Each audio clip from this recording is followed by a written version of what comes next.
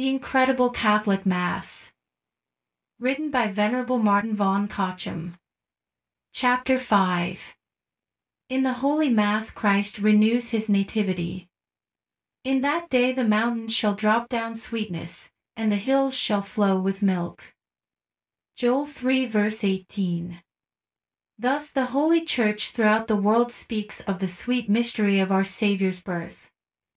And, indeed, on that day of days when the only begotten Son of God, clothed in human flesh, was born into this world, it may truly be said that the mountains dropped down sweetness and the hills flowed with milk and honey. For he who is sweeter by far than milk and honey, who is himself the plentiful source of all sweetness, by his entrance into the world made all things sweet, he brought true joy from heaven, he brought peace to men of good will, he brought comfort to the afflicted, to the world the dawn of a new and brighter day. Oh, how great was the joy of the Heavenly Father in that night when he beheld his well-beloved Son, begotten from all eternity, born of the pure Virgin, whom he vouchsafed to call by the endearing name of daughter. How great the gladness of the Son of God when he beheld himself clad in the vesture of our humanity, possessing now not only a Father in heaven, but a Mother on earth besides. How great the satisfaction of the Holy Spirit on beholding him whom he had united to the Father from all eternity in the closest bond of a perfect love now, by his operation, joined so intimately to human nature that the two natures, so infinitely distinct and diverse, were united together in the one person of the God-man. How great the sweetness which filled the soul of the Blessed Virgin when, gazing on her newborn babe, she told herself that the infant she held in her arms was not her son alone, but also the Son of the Eternal Father, the Most High God. How great, moreover, was the happiness of those who were privileged to look upon the fairest of all the children of men and to hold him in their embrace. We read in the life of Saint Joseph of Cupertino that it was revealed to him that, after the return of the three kings to their own country, Crowds of pilgrims flocked from all parts of the land to Bethlehem to see the newly born King of the Jews, to feast their eyes on his wondrous beauty. He adds that they entreated the mother of Jesus to permit them to take the lovely infant in their arms and press him to their heart. This our Blessed Lady graciously allowed them to do, noticing to her astonishment that the gentle child lovingly caressed the good while he held himself aloof from the evil. Although we rightly count those privileged persons happy, yet it must not be forgotten that we are even more privileged than they, since we may daily gaze with the eye of faith on that tender infant and may share in the gladness attending his birth. Listen to the words of Pope Leo I, our minds enlightened and our love enkindled by the record of the evangelists and the utterances of the prophets, we do not seem to regard the birth of Christ as an event of the past, but as one present to our sight. For we here proclaim to us what the angel announced to the shepherds Behold, I bring you tidings of great joy. This day is born to you a Savior. Luke 2 verses 10 to 11. Every day we may be present at this happy birth, every day our eyes may behold it, if we will but go to Mass. For then it is in very deed renewed, and by it the work of our salvation is carried on. The same is told us in the revelations of the Abbess Hildegard, at the moment when in the Mass the bread and wine are changed into the body and blood of Christ, the circumstances of his incarnation and birth are mirrored before us as clearly as when these mysteries were accomplished by the Son of God when he was on earth. This testimony has been confirmed by the Church. She bears witness to the truth that the birth of Christ is renewed and represented afresh in the sight of heaven, just as when it took place more than 1900 years ago. In what manner and by whose agency Christ is born in Holy Mass, St. Jerome tells us in these words The priest calls Christ into being by his consecrated lips, that is to say, Christ is born into the world at the bidding of the priest when his lips utter the words of consecration. Pope Gregory XV declares the same in the prayer he enjoins upon the priest to recite before saying Mass. I am about to celebrate Holy Mass and to call into being the body and blood of our Lord Jesus Christ. Holy Church herself teaches us that the birth of Christ is effected anew after a spiritual manner in the Mass, for she places on the lips of the officiating priest the self-same song of praise which the angels sang on Christmas morn, Glory to God in the highest, and on earth peace to men of good will.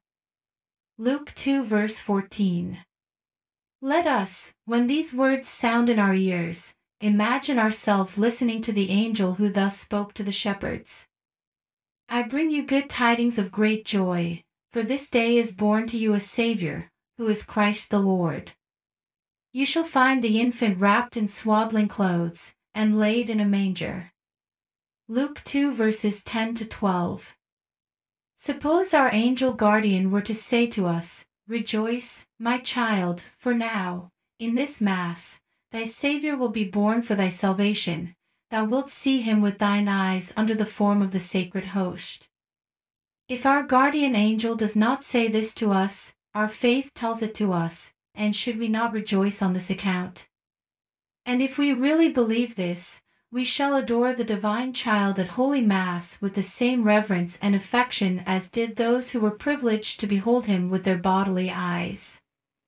In the life of the Fathers, we read that a certain priest named Pelagius who habitually said Mass with great devotion, conceived a special desire to know in what manner Christ was present under the veil of bread and wine, not that he in any way doubted his Lord's real presence there, but love prompted the wish to see him with his bodily eyes. One day, when he was saying Mass, immediately after the elevation, this desire was so strong within him that he fell upon his knees and said, I beseech thee, Almighty God, that thou grant to me, unworthy as I am, to behold the bodily form of Jesus Christ in this sacred mystery, that as Simeon of old took him in his arms, so I may see him with my eyes, and touch him with my hands. While he thus prayed, an angel appeared at his side and said to him, Behold, and see Christ here present in bodily form as when he was an infant on his mother's knee. Startled by these words, the priest raised his head, and there, lying upon the corporal, he saw the Son of God in the shape of a beautiful babe that looked at him smilingly and stretched out his tiny hands to be taken into his arms. But out of reverence, the priest ventured not to do this, until the angel said, This is Jesus, the Son of God, whom a few moments ago thou didst see under the form of bread.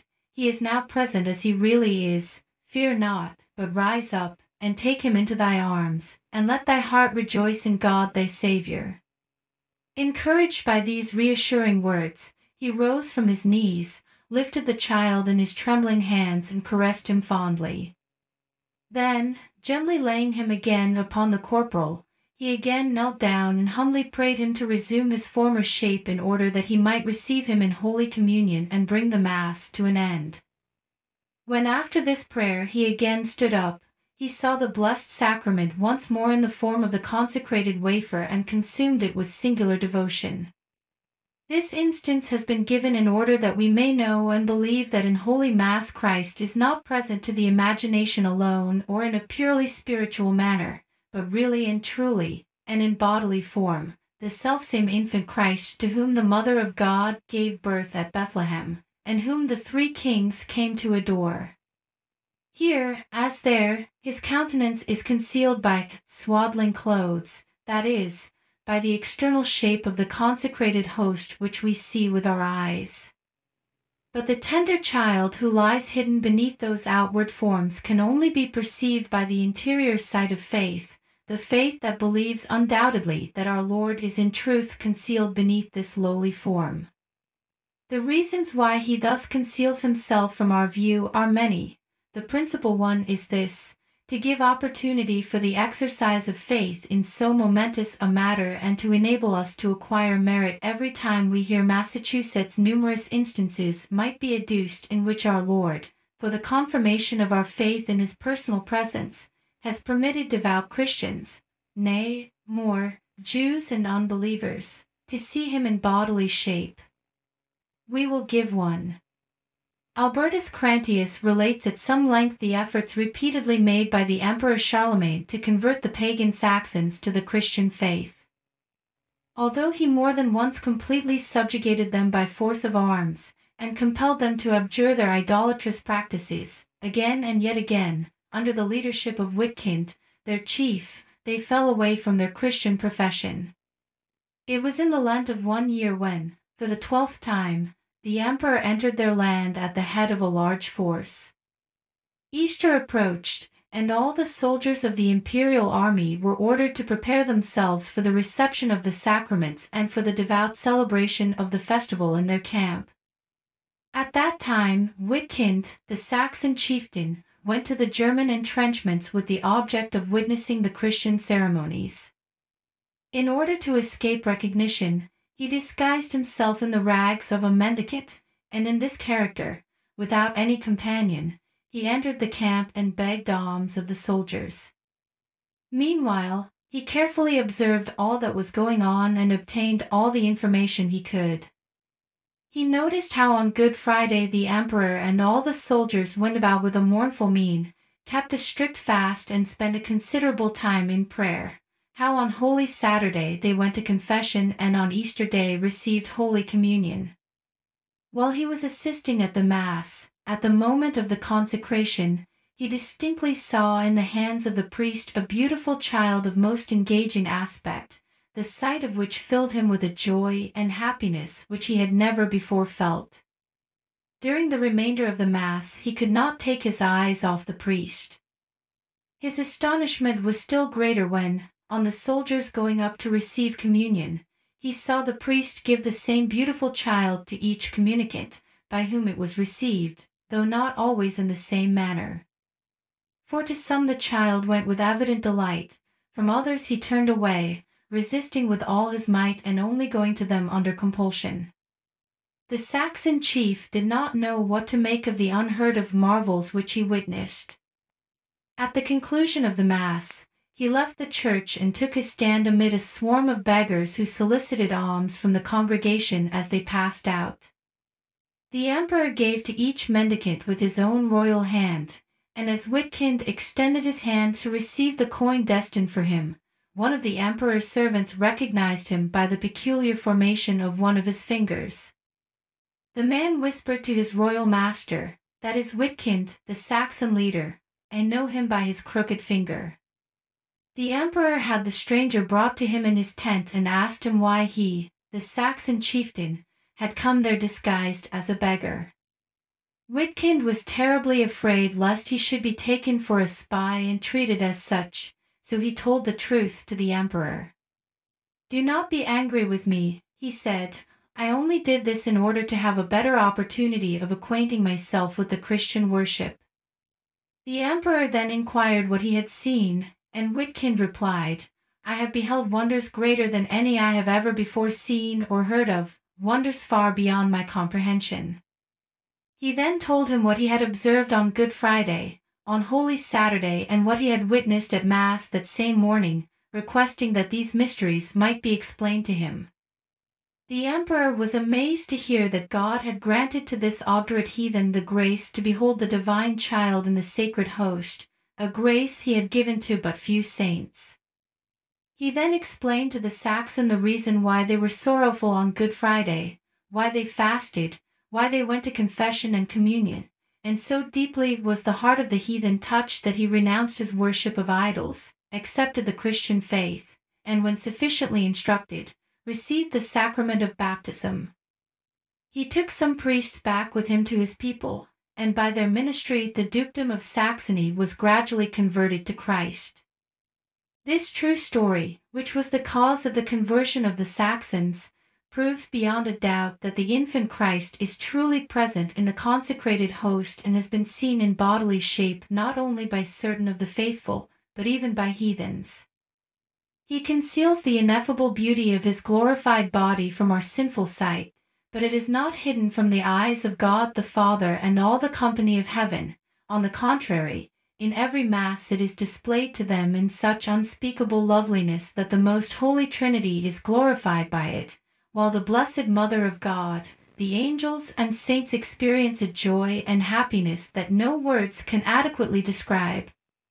For as Christ is reported to have said to the Venerable Alanus, nothing contributes more towards magnifying God, rejoicing his blessed mother and causing the felicity of the saints than the holy sacrifice of the Mass. When the holy angels look upon this newborn infant, they prostrate themselves before him in lowly adoration. This is what St. Paul refers to when he says, Let all the angels of God adore him. Hebrews 1 verse 6. In the night of the Nativity, God the Father brought his only begotten Son for the first time into the world, but whenever Mass is said, he brings him anew into the world, onto our altars, that he may sacrifice himself for us, and impart to us the fruits of his birth. Then the angels fall down and worship him, as the Church says in the preface, the angels praise, the dominations adore, and the powers fear thy majesty, the heavens also, and the heavenly hosts, and the blessed seraphim glorify it in common exultation. Thus, on the night when he was born, they sang, Glory to God in the highest, peace on earth to men of good will.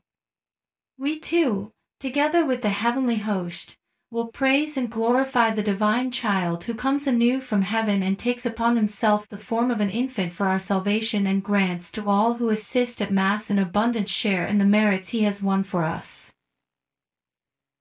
The joy caused in heaven and the blessings brought to earth by the renewal of our Lord's Nativity.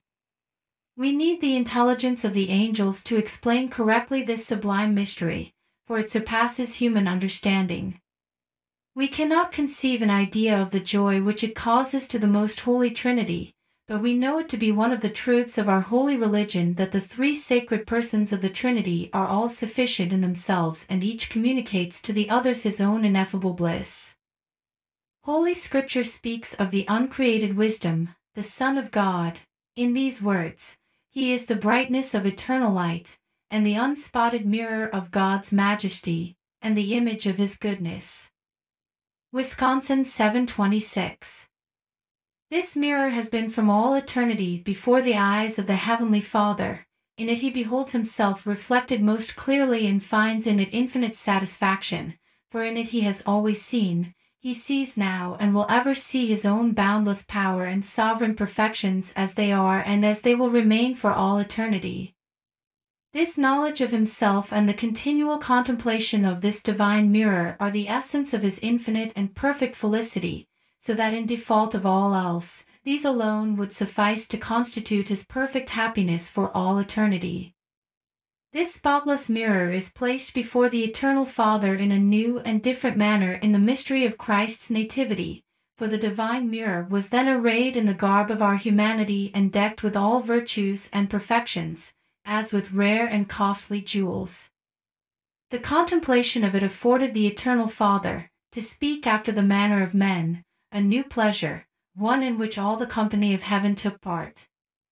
Wherefore, in the exuberance of their delight, the blessed spirits raised their voices in that melodious song, the Gloria in Excelsis, the strains of which reached earth and filled the pious shepherds with unspeakable joy. And before the Gloria was ended, the angelic choirs came down to Bethlehem and prostrated themselves before the newborn babe, paying lowly homage to him as their sovereign Lord. All this, which happened on the night of the Nativity, still takes place daily in every Mass, for then the firstborn Son of God again becomes man in the hands of the priest and at his word is born anew. It is no new Christ who is called into being by the prayer of consecration, no multiplication of his person takes place, he only becomes personally present in a place where previously he was not. He is indeed but one Christ and remains ever one and indivisible, yet it is not merely in a spiritual manner, but in a corporal manner also that he is truly present on the altar. And in the sacred elements he remains present so long as they continue intact.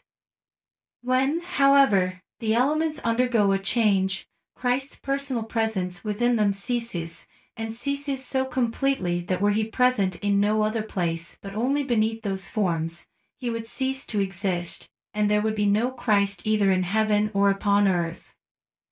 Now, when this firstborn Son of God is born again at the word of the priest, when this bright mirror adorned with all divine perfections is lifted up and offered both by priest and people to God the Father, what do you think is the joy the Heavenly Father feels? Certainly it is a joy equal to that which he felt in his beloved Son on the night of his nativity, for then as now he beheld the same Son of whom he said, This is my beloved Son, in whom I am well pleased. Matt 3:17 There is only this difference, that then Christ was clothed with a mortal body, whereas now, in Holy Mass, he is decked in his glorified body, and his five sacred wounds shine like costly jewels. Then he was born with a visible and material body. Now, on the contrary, he is born in a spiritual, though not less real manner. Furthermore, we must consider that God the Father not only takes pleasure in the contemplation of this divine mirror, but that this mirror is his own living and beloved Son, who loves him with filial affection and causes him inexpressible delight. The felicity which the Godhead finds in the humanity of Jesus Christ is a felicity far surpassing that which accrues to it from the praises of the angels, the adoration of the saints, the worship of the faithful.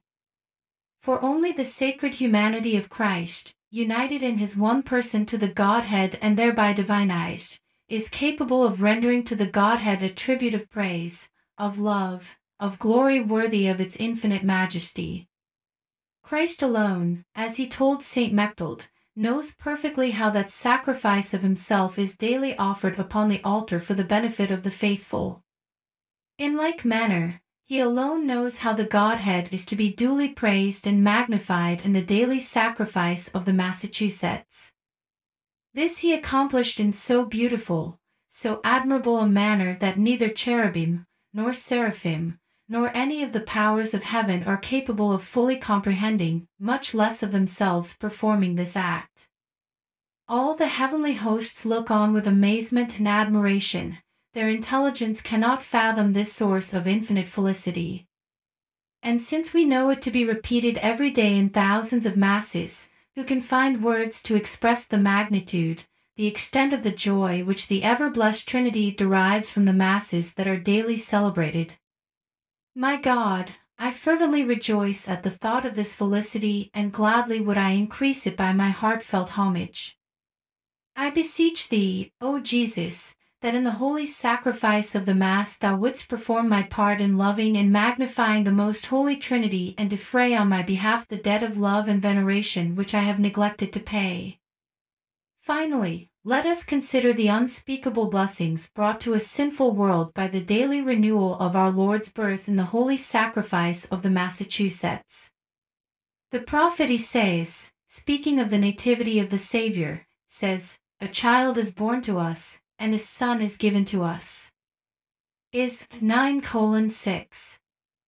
The same may be said of his spiritual birth, whenever Mass is said, a child is born to us, a son is given us. How precious, how invaluable is this gift! It is none other than the most precious of all celestial treasures, none other than the Son of the Eternal Father, in whom all riches dwell. He descends from paradise onto every altar when Mass is said, bringing with him riches immeasurable and celestial treasures. The chief among these are divine grace and mercy, contrition and forgiveness of sins, remission of the penalty due to our sins, amendment of life, the grace of a good death, a greater degree of glory in heaven, besides many temporal favors, preservation from accidents, from sin and shame, the blessing of God on all we do. These and many other graces he is ready to communicate freely to those who hear Mass devoutly, and he will bestow them abundantly. If we consider more attentively the prophecy of Esaias, we shall find in it something further for our encouragement. He says expressly that a child is born to us, a son is given us. If the child Jesus is thus born to us in Holy Mass and given to us, he is our very own, all that he has is ours, all that he does belongs also to us. The honor, the thanksgiving, the worship, the satisfaction he renders to the blessed Trinity is ours as well. what can be a greater consolation to us poor sinners when we hear Mass than to know that not the Mass only, but the infant Christ himself is all our own? Had you been present in the stable the night of the Nativity, and had you been able to take the tender babe in your arms and offer him to God the Father with the earnest entreaty that for the sake of this sweet child he would have mercy upon you, would he not, do you think, have shown you favor and forgiven you your transgressions? Well, then, do so whenever you hear Mass approach in spirit to the altar.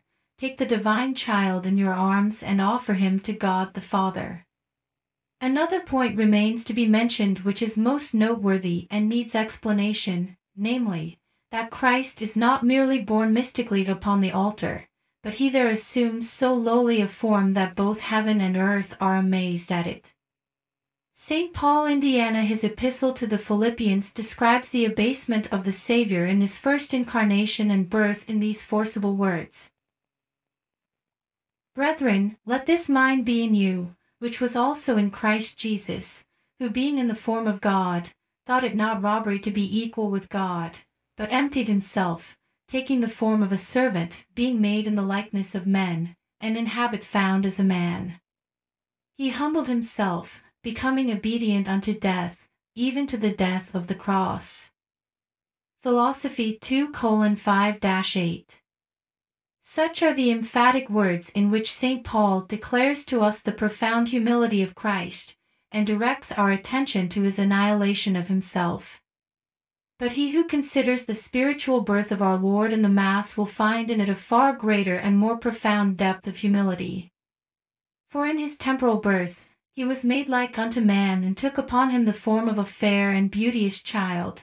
In his mystic birth, however, he assumes the form of bread and appears to the outward vision as a piece of bread. Nay, more, so entirely does he abase and annihilate himself as to conceal himself in the minutest particle that the eye can discern. This is indeed unparalleled humility and unheard of self-renunciation. The words which the prophet king spoke of Christ are most applicable here. I am a worm, and no man, the reproach of men, and the outcast of the people. Psalms 21 verse 7 For who heeds a crumb of bread? Who recognizes it as his God? Who renders him honor and glory? Where is the splendor that pertains to his glorified body? Where is his omnipotence?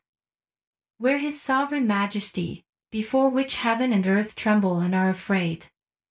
He has laid all this aside and clothed himself with the garment of the deepest abasement. He who is the divine and eternal Word cannot utter a syllable. He who made the heavens and the earth is unable to move hand or foot. He whom the heaven of heavens cannot contain is confined, imprisoned, as it were, in a little wafer. He who is seated at the right hand of the Father lies upon the altar, bound as a sacrificial lamb, ready to be slain anew in a spiritual manner as a victim for our sake. Behold the infinite humiliation of the sovereign Lord of heaven and of earth. Behold the unspeakable charity of this faithful lover towards the children of men. Furthermore, in his humility and self abasement, Jesus Christ becomes subject in Holy Mass to the officiating priest, and this not only to the good and fervent, but to the lukewarm and indifferent, permitting them to deal with him according to their will. Nay, what is even more astonishing, he does not refuse to receive their benediction, although St. Paul says, without all contradiction, that which is less is blessed by the better. Hebrews 7 verse 7. How, then, can Christ, who is so incomparably greater than the priest, take the blessing of one so infinitely his inferior? Yet the priest blesses the host, not only before, but after the consecration, and this no less than fifteen times, so profound is the self abasement of our Lord. We are told that when Christ came unto John to be baptized by him, John stayed him, saying, I ought to be baptized by thee, and comest thou to me? Matt 3:14. In like manner, the priest ought to shrink back in fear and say, I, O my Lord, ought to receive thy blessing, for how canst thou, the Most High God, receive the blessing of a miserable sinner like myself. This is indeed most astonishing, and we are led to inquire the reason why Christ stooped so low. One of the chief reasons to be alleged is this in order by his extreme abasement to appease the wrath of an angry God, and to avert from sinful men the just chastisement of their iniquities. There is no surer way of conciliating an enemy than to humble oneself before him and beg his forgiveness. We learn this from the example of the impious King Achab, of whom it is recorded in Holy Scripture that when the prophet Elias foretold to him by God's command that on account of his evil doings the Lord would chastise his wife and children, so that they should not be buried, but their dead bodies become the food of dogs and of the birds of the air, Achab rent his garments and put haircloth upon his flesh, and fasted and slept in sackcloth, and walked with his head cast down. And the word of the Lord came to Elias the Tishbite, saying, Hast thou not seen Achab humbled before me? Therefore, because he hath humbled himself for my sake, I will not bring the evil in his days, but in his son's days will I bring the evil upon his house. 3 Kings 21 verses 27 to 29. Now if the godless king Achab, of whom it is said that he did evil above all that were before him, through humiliation and self-abasement so far prevailed with Almighty God that he did not send upon him the threatened punishment, what will not the extraordinary humiliation of Christ upon the altar avail with his heavenly Father? For the sake of sinners, who have provoked the just God to vengeance by their pride and their malice, Christ humbled himself far more profoundly than Achab ever did. For Christ lays aside his glorious apparel, he conceals himself under the form of the sacred host. He does not merely walk with his head cast down, he lies upon the altar, a patient victim, and from the bottom of his heart calls upon God the Father to pardon and spare the sinner. Will not God Almighty say to his angels as he said to the prophet of old, Have you not seen how my son humbleth himself before me? And the angels will answer, Yea, we see and are amazed at the deep abasement of our Lord and God. And God will then reply, Because my divine Son has thus annihilated himself and humbled himself before me to plead for sinners, I will spare them and turn away from them the chastisement their transgressions deserve. Listen, then, O sinner, hear what God says to you and you will understand how it is that your life has been so far prolonged and you have not been punished according to the measure of your iniquities. For my part, I think that it is principally because you have often heard Mass and have thus shared in the intercession of Christ. On the altar he has made your interests his own. He has humbled himself before God on your behalf. He has averted the penalty you have deserved. Wherefore, Return humble thanks to thy faithful advocate and say to him in the gratitude of your heart, Praise and glory be to thee, O most sweet Jesus, for the infinite love wherewith thou dost vouchsafe to descend from heaven in the holy Mass to change bread and wine into thy sacred flesh and blood, to conceal thyself under these contemptible appearances, and by means of this boundless humility to appease the just wrath of God and avert the chastisements due to us. With our whole hearts we thank Thee for this inestimable benefit. With all the powers of our soul we praise and magnify Thee, and we beseech the hosts of heaven to unite their voices to ours and compensate for what is defective in our giving of thanks. We humbly pray Thee to enlighten our minds, that we may clearly comprehend the saving mysteries which Thou dost daily enact upon our altars, that we may venerate them correctly and profit by them for our eternal salvation. Amen.